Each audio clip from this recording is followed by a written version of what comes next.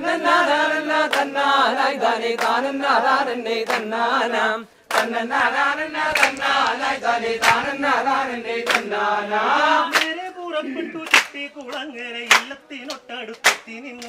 ബ്രാഹ്മണ സംഗ്രഹം മെഞ്ഞുകൊണ്ടാളു ആലപ്പുഴ ജില്ലയിലെ പല ക്ഷേത്രങ്ങളിലും കുത്തിയോട്ടമുണ്ടെങ്കിലും കുത്തിയോട്ടത്തെ കേരളം മുഴുവൻ അറിയപ്പെടുന്നത് ചെട്ടികുളങ്ങര ക്ഷേത്രത്തിലെ കുത്തിയോട്ടവുമായി ബന്ധപ്പെട്ടുകൊണ്ടാണ്. ചെട്ടികുളങ്ങരയിലെ കുത്തിയോട്ടം കുംഭമാസത്തിലാണ് നടക്കുന്നത്. കുംഭ ഭരണിയോടനുബന്ധിച്ചാണ്. ശിവരാത്രി മുതൽ ഏഴ് ദിവസമാണ് അതിന്റെ ഒരു കാലയളവ്. കുത്തിയോട്ടത്തിന്റെ രണ്ട് ഘട്ടങ്ങളുണ്ട്. അതിന്റെ കലയെന്ന് പറയുന്നത് അതിന്റെ താനവട്ടങ്ങളും അതിന്റെ ചുവടുമാണ്. ഇത് സത്യത്തിൽ നടക്കുന്നത് ഈ ക്ഷേത്രത്തിന് പുറത്താണ്.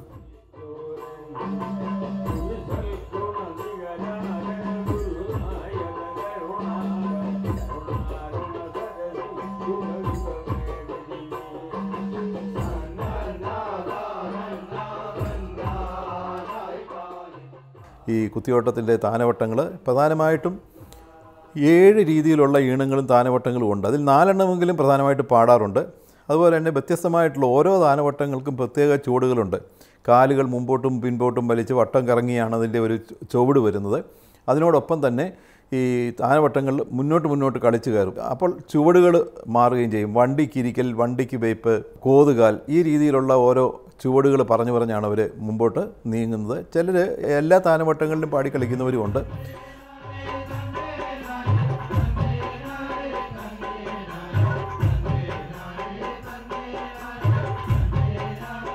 കുത്തിയോട്ടം ആരംഭിച്ചു കഴിഞ്ഞാൽ ഓരോ കരകളിലും പതിമൂന്ന് കരകളിലായിട്ടാണ്. അതിലെ ഓരോ കരകളിലും കുത്തിയോട്ടം പല ആൾക്കാരും നടത്തും. അവിടെ ആ വീടുകളിൽ കിഴക്കോട്ട് ദർശനമായിട്ട് വലിയ പന്തൽ നിർമ്മിച്ച് ആ പന്തലിലാണ് പരിശീലനം തുടങ്ങുന്നത്. ഒന്നാം ദിവസം തന്നെ കുത്തിയോട്ടത്തിന് വരുന്ന കുട്ടികളെ ചുവട് പഠിപ്പിച്ചു തുടങ്ങും. ചുവട് പഠിപ്പിച്ചു കഴിഞ്ഞാൽ അവരെ താനവട്ടങ്ങൾ പാടി ആദ്യത്തെ ദിവസങ്ങളിലെല്ലാം തന്നെ ഓരോ വീടുകളിലും ഓരോ താനവട്ടങ്ങൾക്കനുസരിച്ചിട്ടുള്ള ചുവടുകളും പാട്ടുകളും പാടി അവരെ പരിശീലിപ്പിക്കും. ആറാം ദിവസം വരെ ഈ പരിശീലനം തുടരും.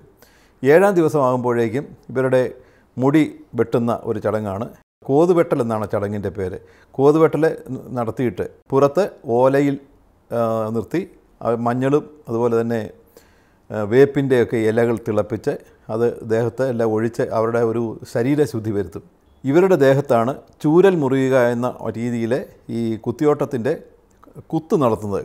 ഇതിന്റെ പിന്നിലുള്ള പുരാവൃത്തം വേതാളത്തിന് ആവശ്യമുള്ള രക്തം നൽകാൻ സാധിക്കാതെ വന്നു കഴിഞ്ഞപ്പോൾ ഭൂമിയിലുള്ള ഭക്തജനങ്ങൾ ഞങ്ങൾ ഈ ആവശ്യത്തിനുള്ള രക്തം നൽകാമെന്ന് പറഞ്ഞ് മുമ്പോട്ട് വരികയാണ്.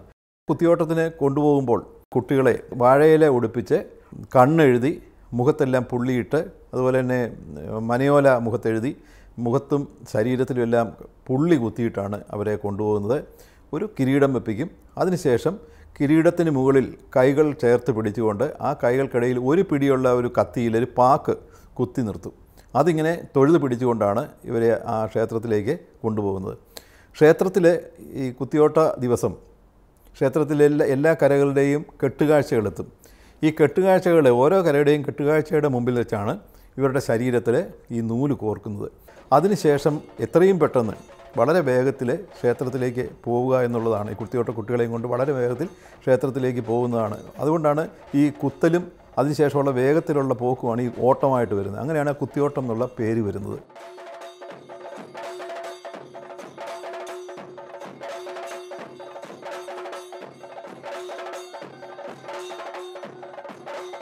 കുത്തിയോട്ടത്തിൽ ഇത് മാത്രമല്ല കല. വളരെ വലിയ കെട്ടുകാഴ്ചകൾ നമുക്ക് ആ ദിവസം ചെട്ടികുളങ്ങര കാണാനായിട്ട് സാധിക്കും. എല്ലാ കരകളുടെയും തേരുകളും അതുപോലെ തന്നെ ഭീമനെ പോലെയുള്ള ചില മറ്റ് കെട്ടുകാഴ്ചകളും അവിടെ അണിനിരക്കും. ചിട്ടുളങ്ങര ക്ഷേത്രത്തിന്റെ ഈ കെട്ടുകാഴ്ച യുനെസ്കോയിലെ അംഗീകാരം കിട്ടിയതാണ്. അതുപോലെ തന്നെ കേരളത്തിൽ ഇത്രയും വലിയ കെട്ടുകാഴ്ച ഉള്ള ഒരു ക്ഷേത്രം വേറെയില്ല. കേന്ദ്ര ഗവൺമെന്റിന്റെ ഐ സി എച്ച് എസിന്റെ അംഗീകാരം ലഭിച്ച ഒരു കെട്ടുകാഴ്ച കുംഭപ്രണിയാണ് ഇതെന്ന് പറഞ്ഞാൽ കെട്ടുകാഴ്ച. അത് പതിമൂന്ന് കെട്ടുകാഴ്ചകളും കൊണ്ട് നിര നിരന്ന് കാഴ്ച കണ്ടുണ്ട് ക്ഷേത്രത്തോട് അനുബന്ധിച്ച്. അവിടെ ഇറങ്ങിക്കഴിയുമ്പോൾ അതിന്റെ ഒരു കരവിരുത് എന്ന് പറഞ്ഞാൽ ഇത് ഇത്രയും എല്ലാം നൂറ് അടിയുടെ മുകളിൽ പൊക്കമുള്ള കുതിരകളും തേരും ഒക്കെയാണ് ചെല്ലാൻ പോകുന്നത്. അത് അന്നും ഇന്നും എല്ലാം തടിയിലും ആപ്പിലും പിന്നെ കയറിലും കൊണ്ട് മാത്രം കെട്ടി പടുത്തുയർത്തിയ സംഭവമാണത്. കെട്ടുകാഴ്ചകൾ കെട്ടുക എന്ന് പറയുന്നത് കാർഷിക സമൃദ്ധിയുടെ മകുടോദാഹരണമാണ് കെട്ടുകാഴ്ചകൾ എന്ന് പറയുന്നത്. അതായത് വർഷത്തിൽ രണ്ട് തവണ കൊയ്ത്ത് കഴിയുമ്പോൾ കുംഭഭരണി ഉത്സവം നടത്തുന്നത് മകരക്കൊയ്ത്തിന് ശേഷം വരുന്ന ഇടവിളയായിട്ട് എള്ള് പാകി എള്ള് പൂത്ത് നിൽക്കുന്ന ആ ഒരു സമയത്താണ് നമ്മളെ കുംഭഭരണി കെട്ടുകാഴ്ച മഹോത്സവം നടത്തുന്നത്.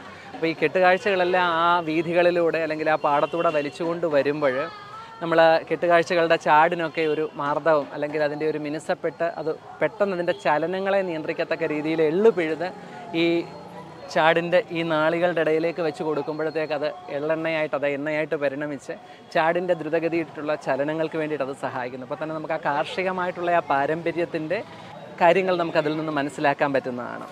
അതിന്റെ എല്ലാം മുമ്പിൽ വളരെ മനോഹരമായ ജീവിതകളി ആരംഭിക്കും. അത് ഭദ്രകാളി എഴുന്നള്ളുന്നതാണ്. ഭദ്രകാളി അവിടെയുള്ള പ്രത്യേകതരം ജീവിത. ജീവിത തിരുവിതാംകൂറിലുള്ള ഒരു കലാരൂപം തന്നെയാണ് ഭദ്രകാളിയുടെ എഴുന്നള്ളത്ത്.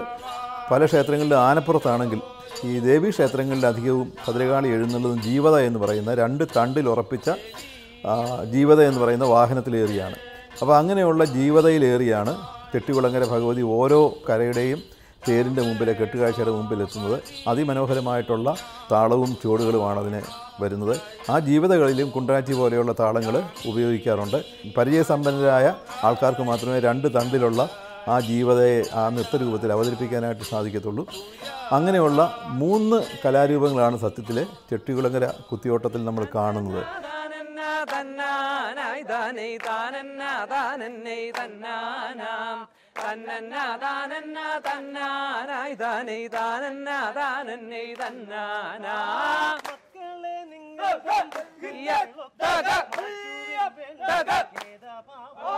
മോദമോടെന്നെ സ്മരിച്ചു കൊണ്ടിന്നങ്ങ് പോകുവിൻ കൂടെ ഞാനുണ്ടു സത്യം. ചെട്ടികുളങ്ങര കുത്തിയോട്ടവുമായി ബന്ധപ്പെട്ട് കാർഷിക പ്രാധാന്യമുള്ള ഒന്ന് രണ്ട് കാര്യങ്ങൾ കൂടിയുണ്ട്.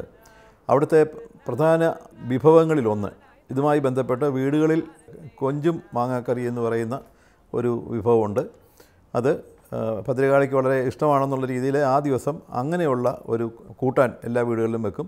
ഈ ഒരു ചെട്ടുളങ്ങര ക്ഷേത്രത്തിൽ കുംഭഭരണി മഹോത്സവം ഞങ്ങൾ എല്ലാവരും കൊണ്ടാടുന്നുണ്ട്. അതിന്റെ ഭാഗമായിട്ട് ഈ ഒരു ദിവസങ്ങളിൽ നിങ്ങൾ വന്നു കഴിഞ്ഞാൽ എല്ലായിടത്തും കൊഞ്ചും മാങ്ങയും കച്ചവടം ചെയ്യുന്ന ആളുകളുടെ ഒരു നീണ്ട നിര തന്നെ നിങ്ങൾക്ക് കാണാൻ സാധിക്കും. അതെന്താന്ന് വെച്ച് കഴിഞ്ഞാൽ ചെട്ടുളങ്ങരമ്മയുടെ ഇഷ്ടവിഭവം എന്നറിയപ്പെടുന്നതാണ് കൊഞ്ചും മാങ്ങ.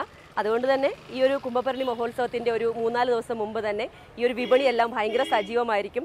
കൊഞ്ചും മാങ്ങയും ചേർത്ത് പ്രത്യേകമായ രുചിക്കൂട്ടുകൾ തയ്യാറാക്കുന്ന കൊഞ്ചും മാങ്ങ ഓണാട്ടുകരയിലെ എല്ലാ വീടുകളിലും മസ്റ്റായിട്ടുള്ള ഒരു സാധനം തന്നെയാണ്. ഇത് ഞങ്ങളുടെ നാടിന്റെ ഒരു സിമ്പൽ എന്ന് തന്നെ പറയാം. ഞങ്ങളുടെ ഇതൊരു സംസ്കാരത്തിന്റെ ഭാഗമാണ്. കൊഞ്ചും മാങ്ങയും മുരിങ്ങയ്ക്കയും തേങ്ങയാണ് ഇതിന്റെ പ്രധാന ഐറ്റംസ്. ചേരുവകൾ അപ്പോൾ ഇത് ഒരു അതിന്റെ ഐതിഹ്യം എന്ന് പറഞ്ഞാൽ ഒരു കുംഭപ്പരണി ദിവസം കുത്തിയോട്ടം കാണാൻ പോകുന്ന സമയത്ത് ഒരു വീട്ടിൽ ഒരു കൊഞ്ചും മാങ്ങയും ഈ സാധനം അടുപ്പേൽ വെച്ചിട്ട് ഈ അമ്മ ഒരു അമ്മ വെളിയിൽ പോയി നിന്നിട്ട് ഈ കുത്തിയോട്ടമൊക്കെ കണ്ട് തിരിച്ചു വന്നപ്പോൾ അത് ഏകദേശം രണ്ടോ മൂന്ന് മണിക്കൂറോളം ആയിട്ടുണ്ട്. രണ്ട് മണിക്കൂർ കഴിഞ്ഞപ്പോൾ ഈ അമ്മ എന്റെ ചെട്ടുളങ്ങര അമ്മ എന്റെ കൊഞ്ചുമാങ്ങ അടുപ്പത്തിരിക്കുന്നുണ്ടോ എന്ന് പറഞ്ഞു. തിരിച്ചു ചെല്ലുമ്പോൾ കൊഞ്ചുമാങ്ങ വാങ്ങി അവിടെ ഇരിക്കുന്നു. അപ്പോൾ അത് കൊഞ്ചുമാങ്ങ ഇല്ലാത്ത കുംഭഭരണി ഇല്ല അതുപോലെ തന്നെ മുതിരപ്പുഴുക്ക് വളരെയേറെ പ്രാധാന്യമാണ്. ഈ ക്ഷേത്രത്തിൽ വരുന്നവർക്കെല്ലാം തന്നെ മുതിര പുഴുക്ക് കൊടുക്കുന്ന ഒരു ചടങ്ങ് നമുക്ക് കാണാം. അതേപോലെ ഈ കെട്ടുകാഴ്ചയ്ക്ക് കുതിരയെന്നും പറയാറുണ്ട്. ആ കുതിരയുടെ സമീപത്ത് വെച്ച് ഈ ഭക്ഷണം കൊടുക്കുന്ന കഞ്ഞി കുടിക്കുന്ന ഒരു സമ്പ്രദായമുണ്ട്. അതിനെ കുതിരമൂട്ടിൽ കഞ്ഞി എന്നാണ് അറിയപ്പെടുന്നത്. ചെട്ടികുളങ്ങര അമ്മ കൊടുങ്ങല്ലൂരിൽ നിന്ന് ഇവിടെ ഈ ദേശത്തേക്ക് വന്ന സമയത്ത് കരിപ്പുഴ തോട് കടന്നാണ് ഭഗവതി ഇവിടെ വന്നത് എന്നാണ് ഐതിഹ്യങ്ങൾ ഉദ്ഘോഷിക്കുന്നത്. ഏക്കർ കണക്കിന് വരുന്ന പാടശേഖരങ്ങളെ ജലസമൃദ്ധമാക്കിക്കൊണ്ട് ഓണാട്ടുകരയുടെ ആ ഒരു കാർഷിക സമൃദ്ധിക്ക് ആക്കം കൂട്ടിക്കൊണ്ട് ഒഴുകുന്ന ഒരു ജലസ്രോ ജലസ്രോതസ്സാണ് ഈ കരിപ്പുഴ തോടെന്ന് പറയുന്നത്. അപ്പോൾ ആ കടവ് കടന്ന് ഭഗവതി ഇവിടെ വരികയും ഇവിടെ പുരമേറ്റിൽ നടക്കുന്ന സ്ഥലത്ത് ചെല്ലുകയും ഭക്ഷണം ആവശ്യപ്പെട്ടു. ഒരു വയോവൃദ്ധയായിട്ട് അമ്മ ഇവിടെ വന്നു എന്നാണ് നമ്മൾ പറയപ്പെടുന്നത്. ഭക്ഷണം ആവശ്യപ്പെട്ട സമയത്ത് അവിടെ പുരമേച്ചിൽ നടക്കുമ്പോൾ താഴവന ഇല്ലവെന്നാണ് ആ ഇല്ലത്തെ പറ്റി പറയുന്നത്. ആ പുരമേച്ചിൽ നടക്കുന്ന അവസരത്തിൽ അവിടെ എത്തുകയും എനിക്കിവിടെ ഭക്ഷണം വേണം. അപ്പോൾ ഒരു പ്രായമായ ഒരു വൃദ്ധയായിട്ടുള്ള ഒരു സ്ത്രീ വന്ന് ഭക്ഷണം ചോദിക്കുമ്പോൾ ആദിത്യ മര്യാദയുടെ മകുടോദാഹരണമായിട്ട് ആ ഇല്ലത്തെ ആൾക്കാരമ്മയെ അവിടെ ഇരുത്തുകയും ഈ കഞ്ഞി പകർന്നു കൊടുക്കുകയും ചെയ്തു എന്നുള്ളതാണത്. ഈ ഐതിഹ്യത്തിന്റെ പിൻബലം ആണ് ഇതിനെ ഏറ്റവും കൂടുതൽ മഹനീയമാക്കിയത്.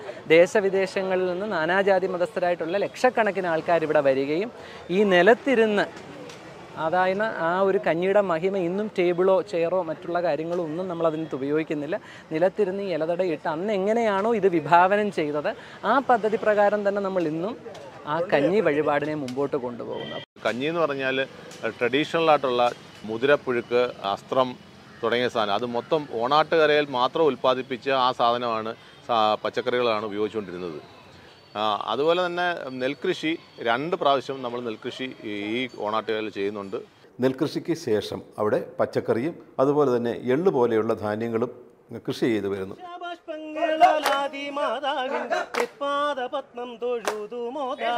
അർത്ഥബോധം ആജ്ഞ പോലെ പൂരം തന്നിലെത്തി ചെട്ടികുളങ്ങര ഭരണിയോടനുബന്ധിച്ചുള്ള കാർഷിക വിളകളുടെ ചന്ത വളരെയേറെ ശ്രദ്ധേയമാണ്. വളരെയേറെ ആൾക്കാർ വരികയും ബന്ധുജനങ്ങളടക്കം വീടുകളിലേക്ക് വന്നു ചേരുകയും ചെയ്യുന്ന ഈ സന്ദർഭത്തിൽ അവിടുത്തെ ചന്തയ്ക്കുള്ള പ്രാധാന്യം നമ്മൾ ശ്രദ്ധിക്കേണ്ടതാണ്. ഭരണിച്ചന്തയിൽ ഈ നാട്ടിൽ തന്നെ ഉൽപ്പാദിപ്പിച്ച് ഏറ്റവും വലിയ കാച്ചിൽ ചേന ചേമ്പ് തുടങ്ങിയ എല്ലാവിധ വെജിറ്റബിൾ ഐറ്റംസും ഭരണിച്ചന്തയിൽ നമുക്ക് കാണാൻ സാധിക്കും. അത് ഓരോരുത്തരുടെ വീട്ടിൽ നിന്നും കൊണ്ടുവരുന്നതാണ് അതായത് മുപ്പത് കിലോ നാൽപ്പത് കിലോ ഉള്ള കാച്ചിലും ചേനയും ഇങ്ങനെയുള്ള ഐറ്റംസ് മൊത്തം നമുക്ക് അവിടെ വിപണന കേന്ദ്രത്തിൽ കാണാവുന്നതാണ്. കാർഷിക വിപണന കേന്ദ്രം എന്നുള്ള രീതിയിലുള്ള ചെട്ടികുളങ്ങരയുടെ ഒരു പ്രാധാന്യത്തിന് നമ്മൾ പറയുന്നുണ്ട്. കായംകുളത്തിനും തട്ടാരമ്പലം അങ്ങാടിക്കിടയിലുള്ള ഒരു വളരെ ഒരു വിപണന മാർഗമായിരുന്നു ഈ കരിപ്പുഴത്തോട്. ധാരാളം വള്ളങ്ങൾ ആലപ്പുഴയിലേക്കും കായംകുളത്തേക്കും ഒക്കെ ചരക്കുകളൊക്കെ ആയിട്ട് കേവ് വള്ളങ്ങളും വലിയ കെട്ടുവള്ളങ്ങളും ഒക്കെ ധാരാളമായിട്ട് യാത്ര ചെയ്യുന്ന ഒരു പ്രധാനമായിട്ടുള്ള ഒരു യാത്രാ മാർഗമാണ് ഈ കരിപ്പുഴത്തോടെന്ന് പറയുന്നത് അപ്പോൾ ഈ ഒരു കാർഷിക വിപണനത്തിന്റെ ഒരു കേന്ദ്രം എന്ന രീതിയിൽ ചെട്ടികുളങ്ങര ഒരു കാലത്ത് പണ്ട് കാലത്ത് അത് വളരെ പരിലസിച്ചിരുന്ന അല്ലെങ്കിൽ പരിശോഭിച്ചിരുന്ന ഒരു കാലം ഉണ്ടായിരുന്നു അപ്പോൾ അതിന്റെ ആ ഒരു അനുസ്മരണം എന്ന നിലയിൽ ഇന്നും ചെട്ടികുളങ്ങര കുംഭഭരണി മഹോത്സവ മഹോത്സവത്തിനോടനുബന്ധിച്ച് ചെട്ടികുളങ്ങര പഞ്ചായത്തിന് ന്റെ ആഭിമുഖ്യത്തിൽ നമ്മൾ അവിടെ ഗ്രൗണ്ടിലായിട്ട് ഭരണിച്ചന്ത ക്രമീകരിച്ചിട്ടുണ്ട്. അതൊരു മൂന്ന് ദിവസമായിട്ട് ഭരണിചന്തയുണ്ട്. അപ്പോൾ അവിടെ നാനാഭാഗത്തു നിന്നും തങ്ങളുടേതായിട്ട് വിളയിച്ചെടുത്ത് കാർഷിക വിഭവങ്ങൾ ധാരാളമായിട്ട് കാർഷിക വൃത്തിയുമായിട്ട് ബന്ധപ്പെട്ട എല്ലാ ഘടകങ്ങളും ഈ ചന്തയിൽ നമുക്ക് ലഭ്യമാണ്. തെക്കൻ കേരളത്തിന്റെ അനുഷ്ഠാന കലാരൂപമായ കുത്തിയോട്ടത്തിൽ മണ്ണും മനുഷ്യനും പ്രകൃതിയും പരസ്പരം മടങ്ങി നിൽക്കുകയാണ് ഓരോ കുംഭമാസത്തിലും ഓണാട്ടുകരയിലെ ഒരു വലിയ സമൂഹം ഈ കാർഷിക സംസ്കൃതിയുടെ ആഘോഷത്തെ പുതിയ തലമുറയിലേക്ക് എത്തിക്കുന്നത് ഇന്നും തുടരുകയാണ്